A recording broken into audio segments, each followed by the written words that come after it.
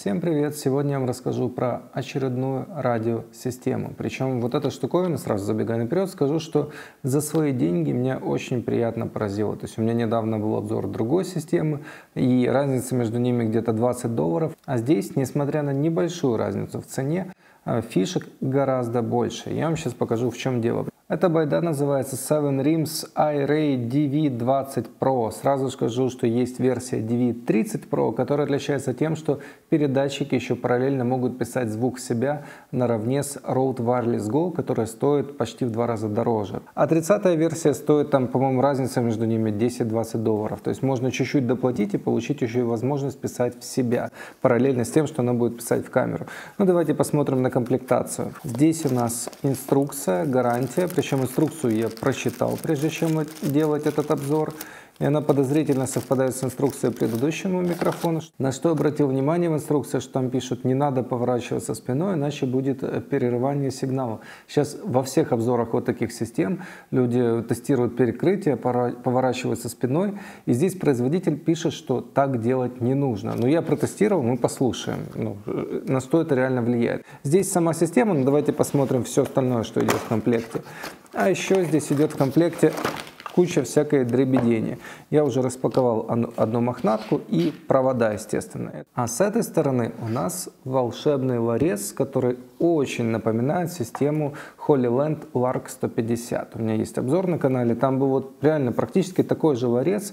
И сразу скажу, чем мне не нравится вот этот параллелепипед, что он большой, вот реально большой. То есть эта штуковина, ну где-то, наверное, сантиметров 12 шириной. У меня на обзорах были куда более компактные системы. Причем учтите, что здесь внутри только приемник и два передатчика. То есть все остальное нужно еще где-то носить. Вот всю эту радость, чтобы эта штука была ну, рабочей, потому что только с этим вы записать не сможете, вам как минимум еще понадобится э, кабель связи с камерой. А здесь же в комплекте еще идут микрофончики, то есть не каждой системе такой идут микрофоны. Мы сейчас послушаем, как они звучат. Неплохо звучат. Вот этот кабель в камеру, вот этот кабель в телефон.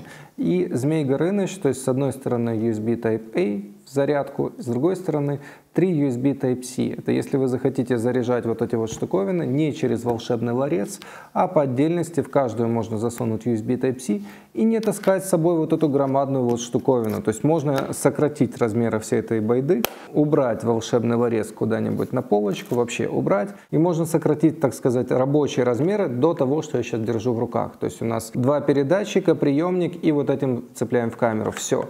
Но под это нет никакого чехольчика, чемоданчика, мешочка то есть где вы это будете таскать. Не, ну в принципе мешочек докупить не проблема, но хотелось бы, чтобы он был в комплекте. Это я уже, знаете, начинаю придираться. Что еще приятно порадовало по сравнению с предыдущей системой комика, что здесь есть ветрозащита, которая не отлетает. То есть э, ветрозащита устанавливается вы вставляете ее, но тут, правда, надо прицелиться, как всегда. Вот вставляете и чуть-чуть прокручиваете. И все. Вот, она довольно крепко держится. Крепление пластиковое, но с защелкой. То есть, если вы прицепите вот так вот на улице, у вас будет, допустим, зимняя одежда, она будет туда-сюда болтаться. Ничего страшного, она не слетит. Мне это прям очень понравилось. У предыдущей системы с меховушками была проблема. То есть, они в комплект положили, но не слетают просто на раз-два. То здесь с этим все хорошо. Вот меховушка зачетная. Ну и, конечно же, возможность подключить родную петличку и иметь передатчик и полноценную петличку. Можно и не родную. Далее, что касается вот этой коробочки, давайте я сейчас положу все это добро назад в коробочку. Причем, знаете, вот по поводу размеров коробочки, посмотрите, сколько здесь лишнего места.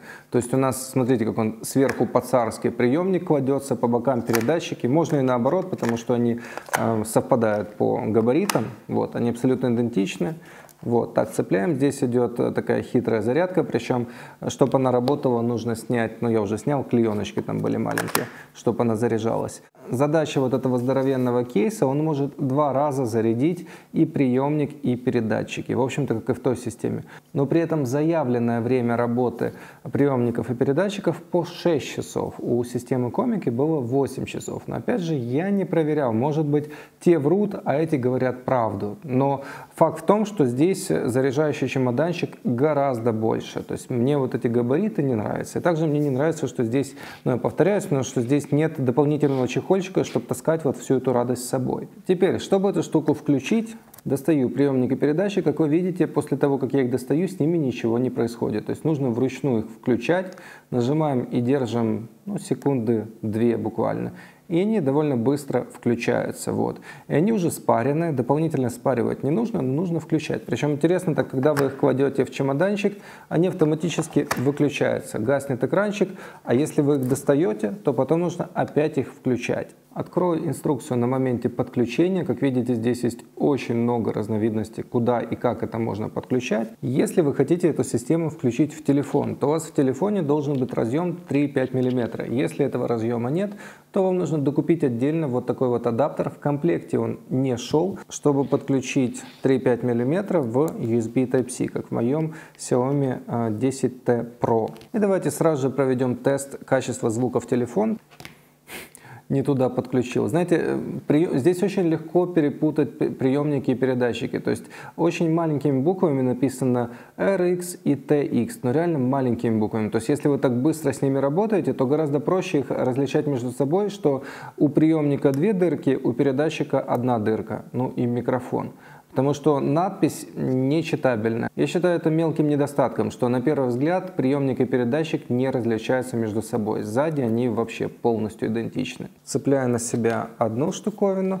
и на телефоне нажимаем запись. Причем здесь на вот этом приемнике можно регулировать громкость микрофона, а, Б нажимаете на кнопочки и регулироваться он будет в децибелах. То есть это, кстати, хорошо. Не в каких-то абстрактных единицах, а в децибелах.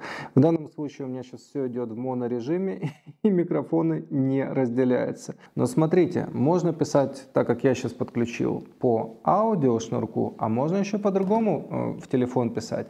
Для этого нам понадобится шнурок, который не идет в комплекте. Это USB Type-C на USB Type-C, то есть такую штуковину нужно будет докупить отдельно.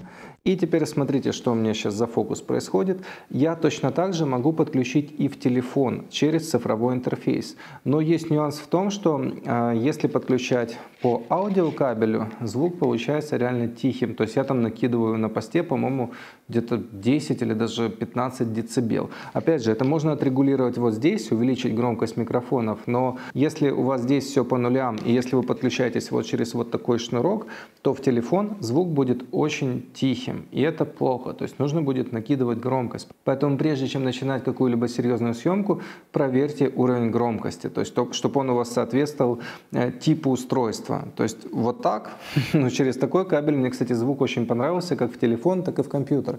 Я уже так мысленно сравниваю с предыдущей системой комика, потому что та система как раз в компьютер мне по звуку не понравилась. Вот в камеру она писала хорошо, а в компьютер не очень то вот эта штука по моим тестам пишет всюду хорошо. И в телефон, и в компьютер, и в камеру. Всюду одинаково хороший звук. Но прикол в другом, что качество звучания в микрофон и в передатчик было разным в зависимости от того, как я его подключаю. Ну, вы сейчас сами послушайте, я буду просто переключать и писать на камеру, э, ну, писать на экране, что и как я пишу.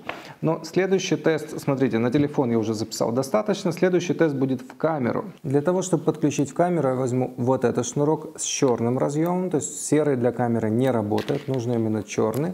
Подключаем в цветастый э, Fujifilm X-T3. Почему он цветастый, есть отдельное видео на канале.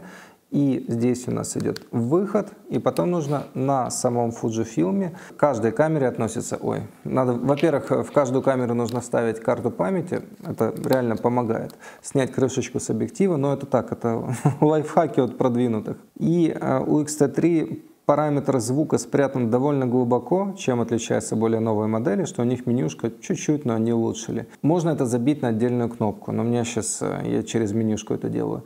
Так вот, я поставил на минус 10 дБ, чтобы звук был хорошим. То есть, если вы поставите по нулям, вот как, как здесь сейчас, то будет перегруз и ай-яй-яй. Обратите внимание, здесь у меня сейчас все по нулям, но в телефон было слишком тихо, а в камеру получается слишком громко. Вот такие нюансы. Но в камерах всегда нужно ставить на минимум звук. То есть минус 10 у Fujifilm, ну вот даже минус 12 я сейчас поставлю.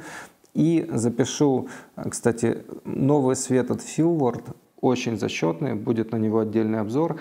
И мой эпичный заполняющий зонтик э, диаметром полтора метра это просто пушка-бомба, это вообще кайф. И я сейчас это все пишу для того, чтобы проверить, как звучит звук с этой системы. Сейчас я еще раз помню, как она называется. Такое название, знаете, неочевидное. Seven Rims IRA DV20 Pro. Вот такая вот у нас система. И я сейчас что-то говорю для того, чтобы вы смогли сравнить звук, который идет с петлички и с передатчика в камеру, потому что это один из самых частых примеров использования, то есть или в телефон, или в фотоаппарат. Камеру, я думаю, я наговорил достаточно.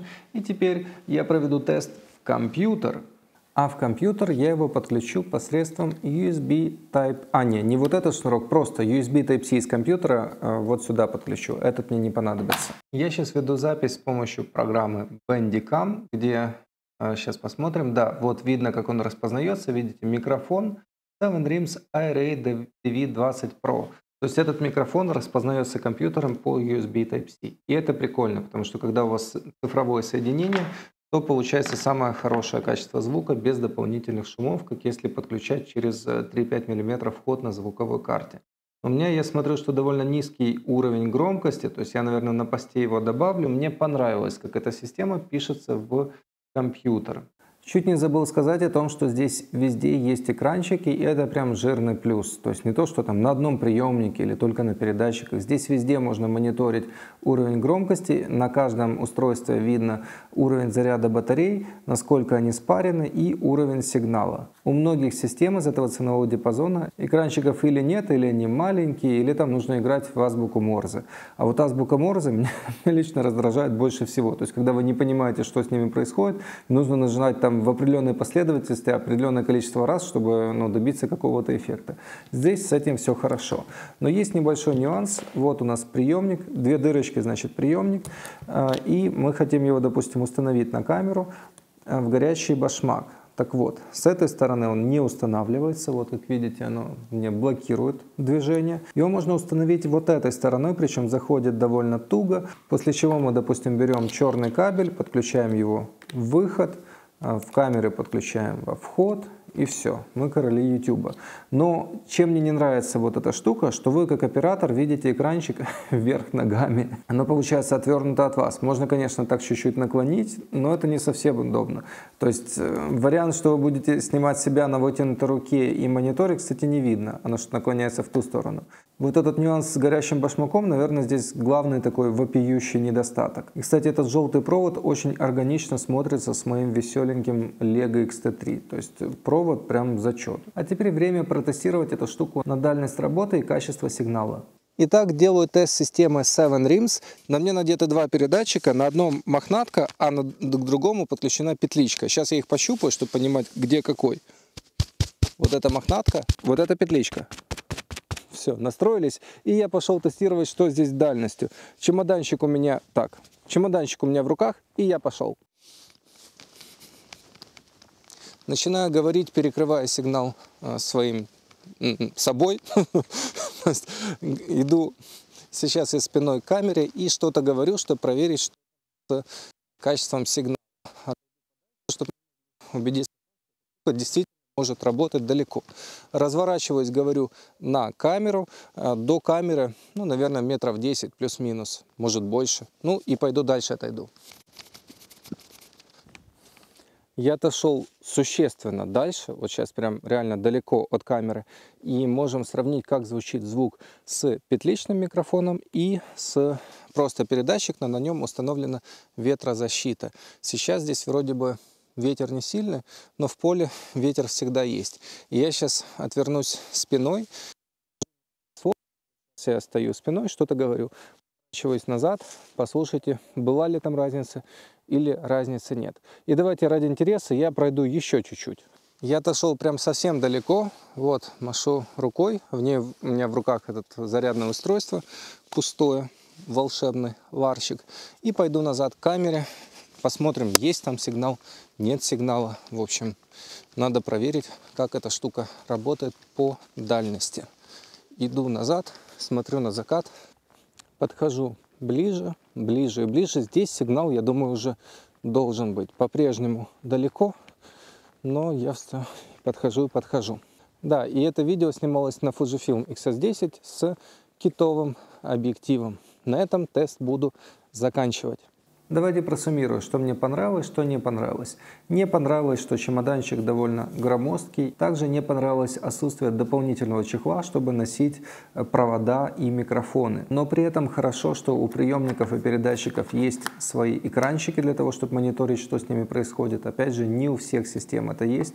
Также плюсом является возможность подключать дополнительный петличный микрофон. И они идут в комплекте, и они, в общем-то, сносно звучат. Еще порадовал возможность пользоваться USB разъемом для цифрового подключения, что работает как с компьютером, так и с телефоном. То есть вы можете пользоваться как 3-5 э, мм выходом, так и USB разъемом для того, чтобы соединять эту штуку с другими устройствами. И это хорошо, и это опять же не у всех есть. Также мне порадовало, что эта штука хорошо звучит, куда бы вы ее не подключали. Потому что, например, предыдущая система комика Vima C при подключении в телефон или компьютер была довольно глухой, и мне звук больше нравился при записи в камеру. То эта штука хорошо звучит, опять же, и в камеру, камеру, и в телефон, и в компьютер. И еще одна жирная опция, что можно приобрести модель чуть-чуть покруче, то есть, как она называется, DV не 20 Pro, а 30 Pro, где вы сможете писать звук, а, то есть как в диктофон, в сам а, передатчик. Эта функция сродни двум слотам кар карт памяти на фотоаппаратах, но я считаю, что это важнее, потому что вы сможете дублировать звук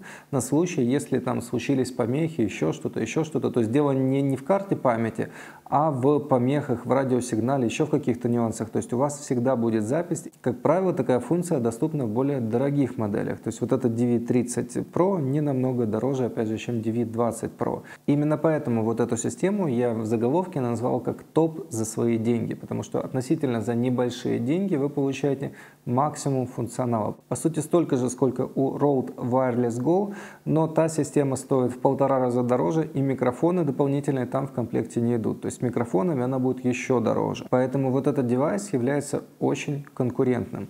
Так что ссылочки на него я оставлю в описании. Заглядывайте и подписывайтесь на канал, кто еще не подписался. Кстати, хочу сообщить, что я на канале сделал дополнительный плейлист про микрофоны. У меня было немало различных радиосистем на обзоре, и у меня было сравнение петличек. В общем, все, что касается звука, у меня собрано в отдельном плейлисте.